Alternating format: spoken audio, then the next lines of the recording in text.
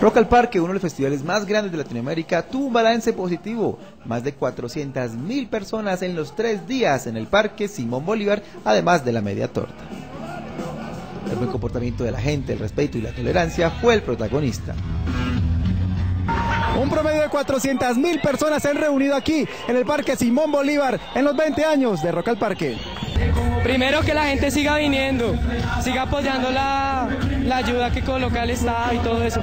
Y en segundo lugar, pues, no sé, el ambiente, el ambiente es una chimba. Con una banda que está revolucionando a través de la música y están haciendo a través de este compilado con un colectivo que se llama Jaguar, están haciendo un homenaje al Amazonas y porque quieren salvar el Amazonas. Entonces decidí hacer este dibujo.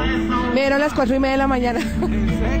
Súper bien. Es así como Molotov y el reencuentro de Terciopelados cerraron la celebración por los 20 años del festival más grande de Latinoamérica.